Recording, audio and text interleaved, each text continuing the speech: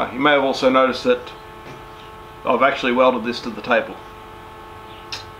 Hey, Shed Corgi, ready for another episode? The $200 Bender Builder. Bender Builder? The $200 Bender Builder. So, what we have here 100 by 75 by 10 mil angle.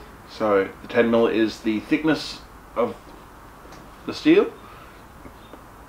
And 65 65 by 10 mil. We also have some big bolts, some huge bolts, and a bloody great pair of hinges. Now, the hinges came from a trailer supplies. Now, fairly simple build. All we're going to do is have these two pieces hinge together. So, kind of like that, with a hinge in each end. And so then it'll have one of these bolts at each end somehow to clamp this piece down and then it's going to use one of these now that extra big nut in the middle that will get welded in so that I'll take the end off there it'll have a socket and then there'll be a bar from here down to each end. So then we can tension up in here and keep that straight. Because it will want to bend in the middle. So we're going to start with the hinges. Now they're 32 millimeters in diameter, so I'm going to cut 100 millimeters and come in 16 mil on each face on each end of the big ones and that will give the spot for this. Now I'm going to cut this down about 25 or 30 millimeters because I don't need all of this. And then once that's cut down, that these two pieces will get clamped together and then this will be put into place and then welded. You've got to be careful when you're welding hinges that you're welding the right pieces to the right spot. Sometimes they get messed up. So, start with cutting.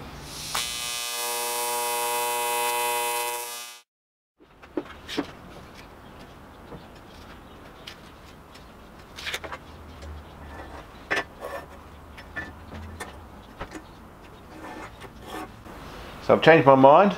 I'm only coming 90 millimeters along because these pieces are 1500 long and I want to be able to put a 1200 sheet in there. So they're getting shortened.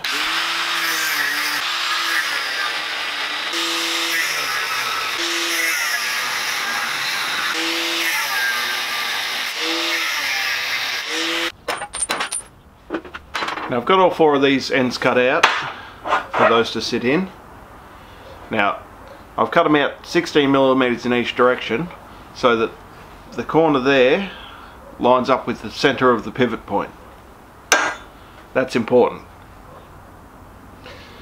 Now because I've only got 25 mil there to weld this to I'm going to shorten this a bit probably 15 millimeters and then I'll have a bit more here to weld onto and there's still plenty of pivot point there.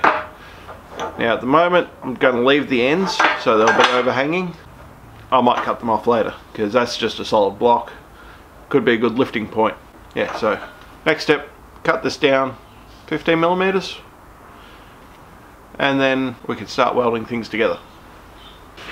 So I've shortened the hinges. Let's push this.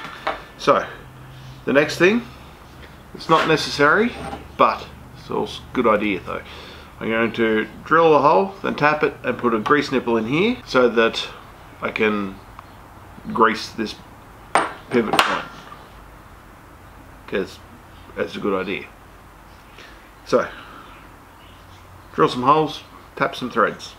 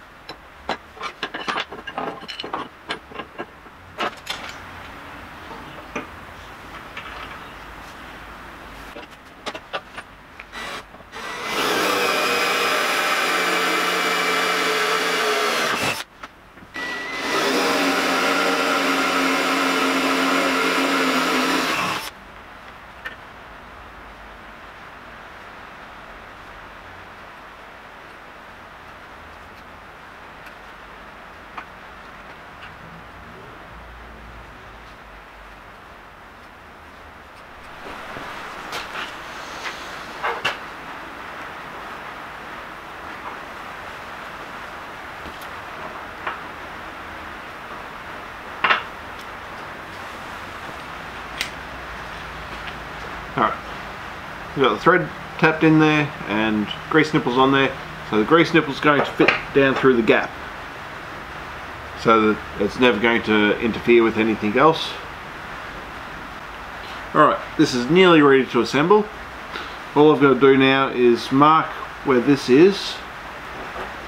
And I've got to chop a section out of there bevel it right back so that I can get a good deep penetration weld in there and then grind the surface back flush afterwards. So, more cutty grindy time.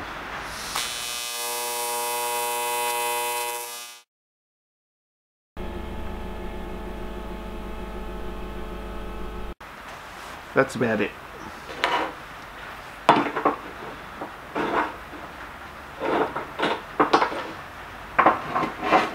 So I've got this bit cut off this side and the centre bit cut off this side.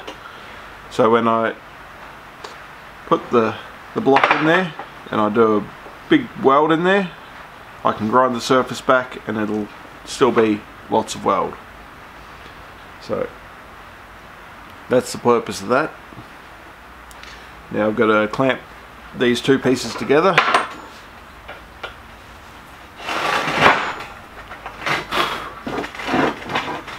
somewhere up there so then I can put the hinge into place and start tacking it in.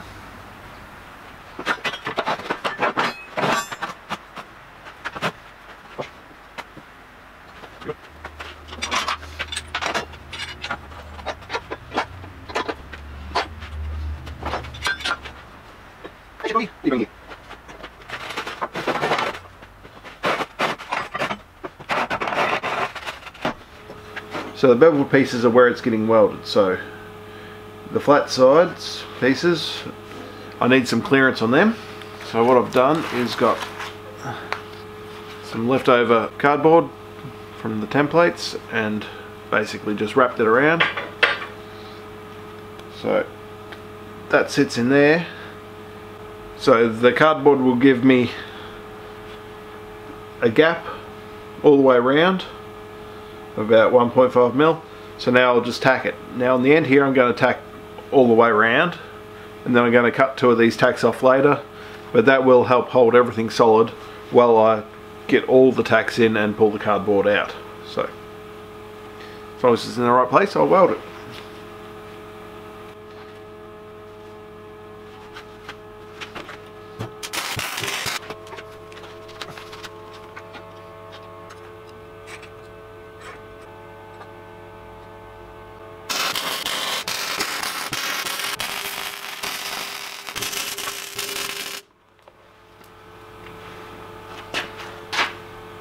Alright, this end's got a lot of weld on it. I'll go weld the other end and then I'll take the clamps off and make sure it still pivots before I fully weld it.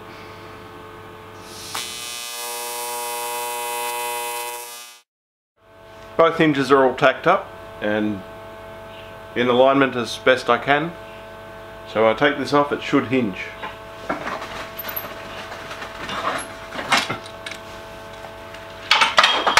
Just like that.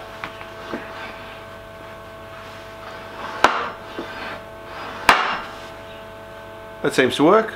So, doesn't feel like the hinge pins are binding at all, so I will weld the heck out of this.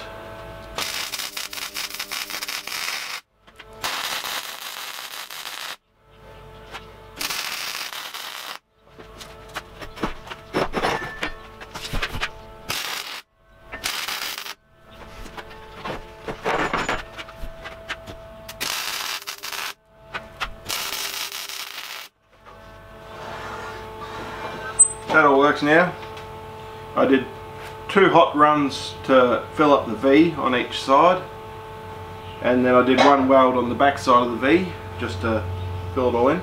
Now all I have to do is take these welds back flush with the, the faces so that it will go all the way over in both directions and then we can start making the handles. So, bit of grinding.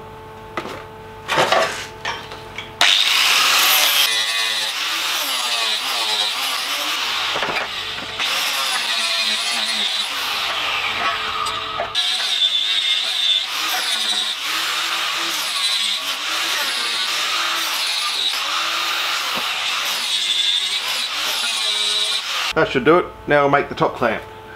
The next step is mounting this piece. Now, the edge of that needs to be lined up just back from this folding line here. Now you want that back the thickness of the material that you're going to be folding. Because when this comes up, you need the thickness of your material, but gap there for the material that you're folding. Because otherwise it just puts too much pressure on this trying to push it that way and on this trying to push it that way and bad things happen. So yeah. So when that sets up that needs to be 3 mil back from that edge. So to do that this piece needs to be the length to fit in between the hinges. So I've got to cut it down first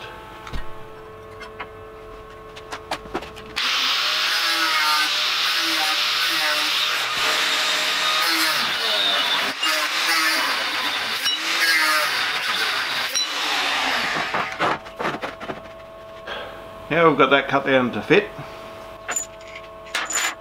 He's going to go about there somewhere. And we're going to weld this piece on the end so that I can have a hole in there, the nut on top to clamp him down with. Got to put some big holes in. So that's next.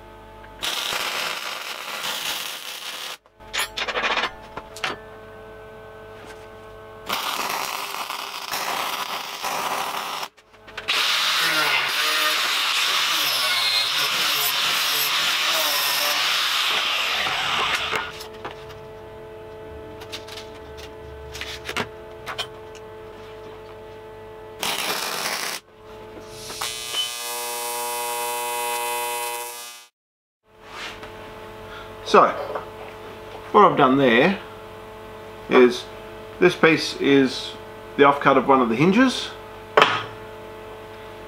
That's one of the long bolts. Hex in the middle so that I can get my big shifter and tighten this up and put a lot of pressure on it. So all that's left now is to run a bar from here down to each side. As it is, it should bend once I put a handle on it.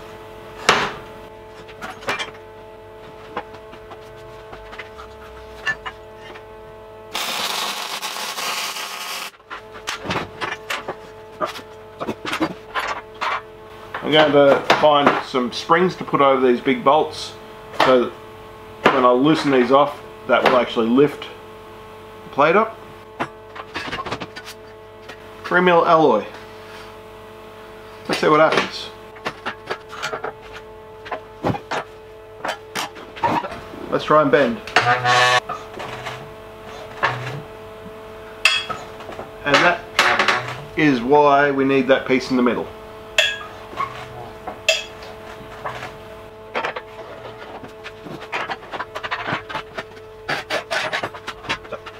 That down there, him up there, some pipes coming from here out and then that can be wound to put lots of tension on the middle so it can't lift up.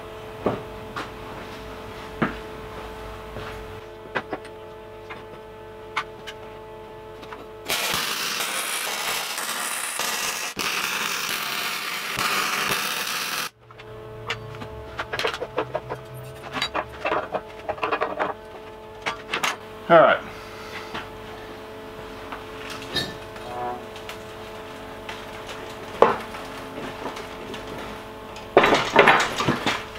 I think I need a heavier table. I don't know if I'm going to be able to do a lot of 3mm folds, but we've got one.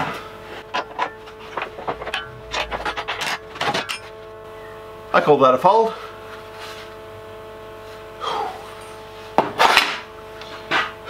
It'll be a lot easier to do 1 and 2 mil sheet metal, but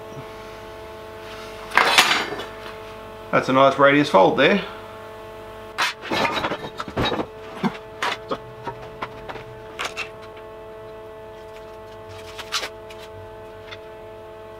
It's quite good, I think. Now, when this is all bolted down to my big chassis table where the table won't lift up and move and I can get a bit more leverage on it. It will do 3 mil. It should do 2 mil steel just fine. I'm thinking in the future I'll build another set of these that'll have a bit of rod up each side of different sizes so I can do well that's the radius that it'll do with this curve. Then I'll get one or two sizes larger than that so it might do up to a, a 15 mil radius. Should be interesting. But that is a $200 folder. I'm pretty happy with that. Needs a few refinements. But that's all the time I've got for this week. As always, customize everything.